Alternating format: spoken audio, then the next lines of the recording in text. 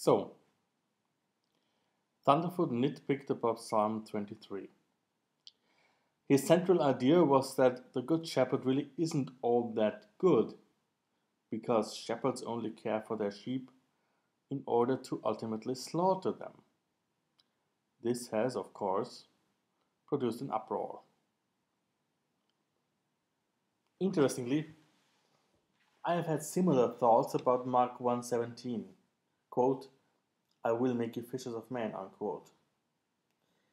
The issue is, in my view, even more obvious in this case, because fish are basically killed by the very act of fishing.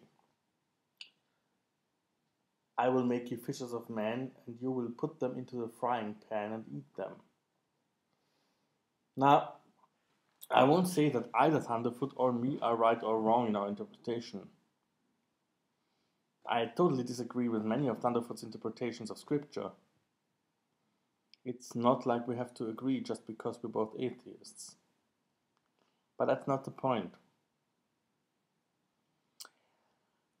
The point is that these are obviously metaphors. And metaphors are always ambivalent and ambiguous.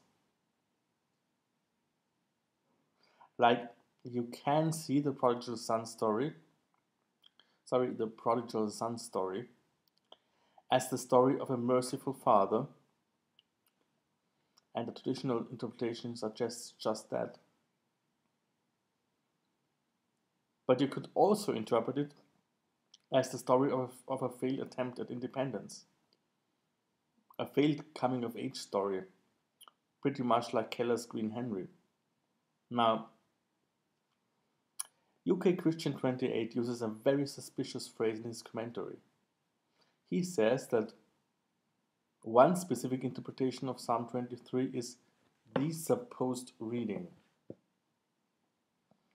Now, I do not doubt for a second that the original author of Psalm 23 had a friendly image in mind. And most probably so had most of his of his audience, probably all of his audience really. But really, who is to say what is the ultimate measure of a metaphor? Is the original author's supposed intention really the ultimate measuring stick for the true meaning of a metaphor? If the author was a mere human being, then he may just have been in a bad mood when he wrote that line. He might just have been a bit mischievous. He might have unintentionally used a conventional phrase that, upon deeper analysis, turns out to be deeply patriarchal and destructive. It might be that behind that line is an old folk song and that the editor of said line could not simply change it even though he wanted to. Speculation. I'm not saying this is true.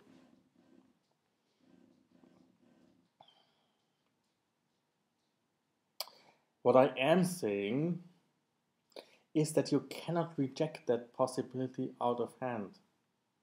And more than that, you can never reject it, even after centuries and millennia of reflection and interpretation. And there is good reason for that. This is essentially what metaphors are ambiguous. Decidedly so, deliberately so. That is their very raison d'etre. That is why we use them and why they work their charm upon the brain. You know, let's suppose in the context of this discussion that God Himself wrote Psalm 23.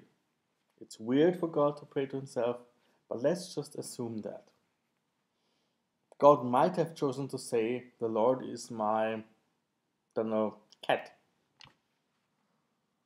Hello, cat. Sounds ridiculous, but bear with me.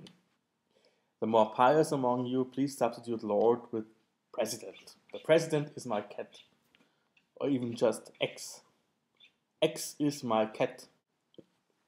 And of course, one of my cats hears me talking about the Lord being my cat and instantly comes around. This is a very interesting thing. Okay, anyway. Okay. X is my cat might mean that X is a manipulative bastard, that's you, who will only purr as long as you feed him, huh? Yeah. Or it might mean that X is able to relax and enjoy the moment to an unusual degree. Or it might mean, or it might mean whatever.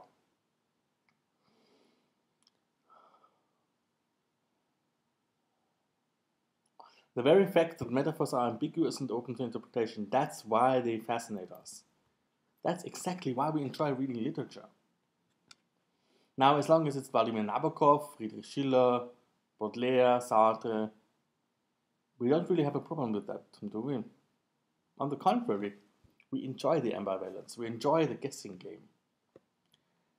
At least the more literally inclined among us. But Once we try, try to apply that very same sport to the Bible, we run into a problem. Because, you know, so far, I have hidden yet another uncomfortable truth from you. Because the problem runs even deeper. Because language essentially consists of ambivalent terms. Don't tell me that when you run a fever, you're actually moving your legs. When you walk the line, there isn't really any line there. And even if I tell you that I literally walked down the street, you'll have to conjure up your own image of walking, which will not be my image at all, and of a street that I probably ne- never had in mind. And what on earth is down supposed to mean in that context? How come you walk down a road but you walk up to a person, and so on and so forth. In short, language is an extremely inefficient way to convey meaning. Or to be more precise, it is a very, very, very inefficient way. It is a very efficient way to convey a wild and a chaotic mix of information, emotion, appeals, and all kinds of subtext. But it is unbearably, unbearably impractical for conveying precise information. That's why we came up with the very strict formulaic language of mathematics, after all. With Nab- Nabokov and Baudelaire, this is no problem. But God, beware, we apply this obvious piece of knowledge to the Bible. The Bible must not, under any circumstance, be ambiguous. We have to know what the logos of John 1 1 is meant to be. It must not be that the shepherd be an image of peace and love to UK Christian 28 and at the same time represent suppression and dependence to Thunderfoot and me. One of us, at least one of us, cannot be right. And why? Because of the insatiable need for objective truths that our brain is hardwired to feed us because we're solution finding machines. Because if we encounter an ambivalence that affects us emotionally, or possibly affects our livelihood, our brain will keep us from sleeping.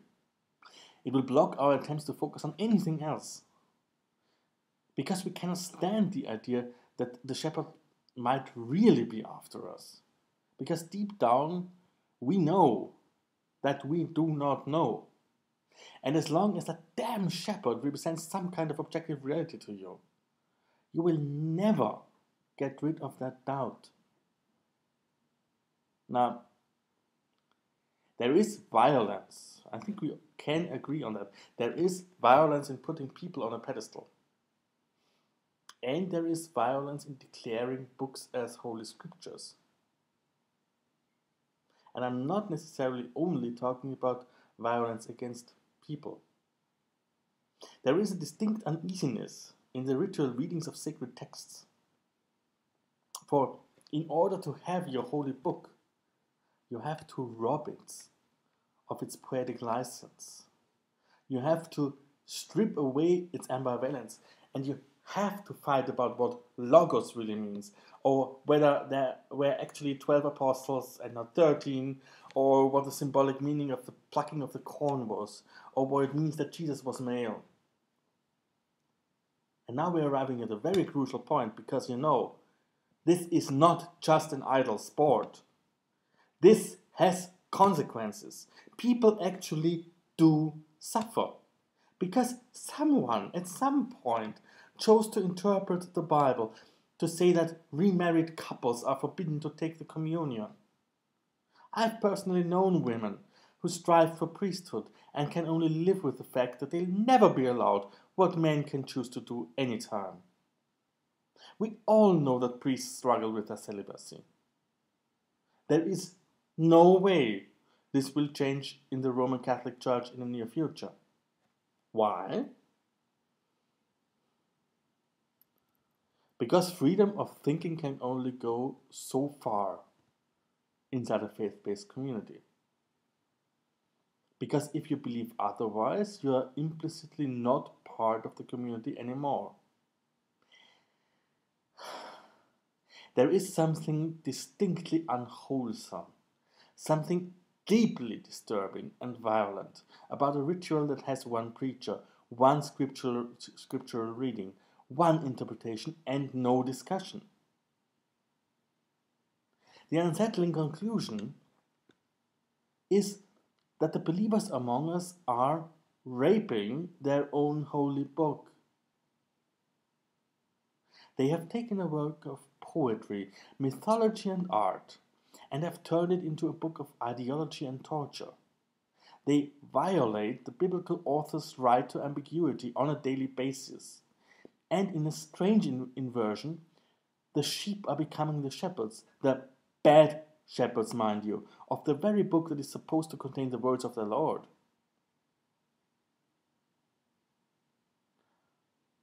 A few final words. One,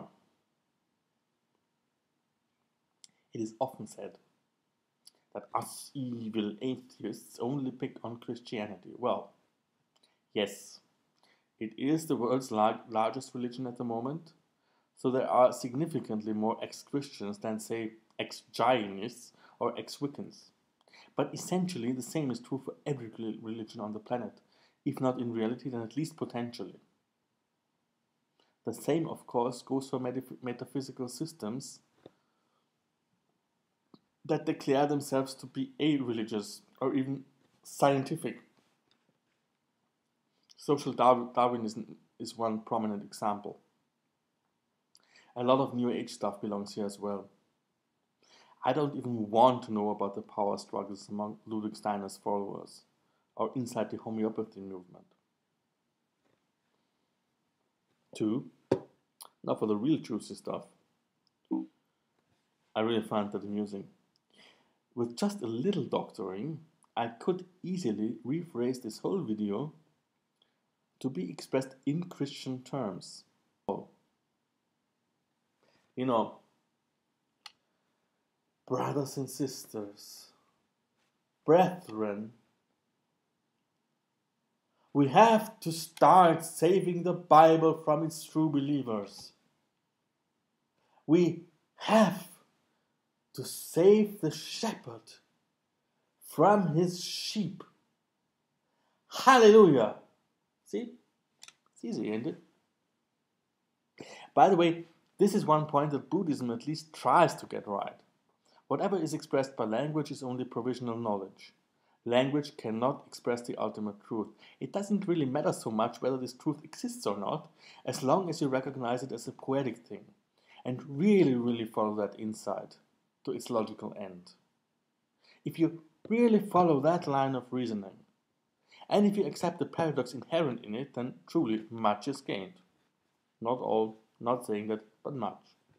More of that in later videos. 3. Yes, it is true that we are always making metaphysical assumptions in any assertion. That is no excuse, however, for deliberately adding more such assumptions than is absolutely necessary. Once you start doing so, you got yourself a cult.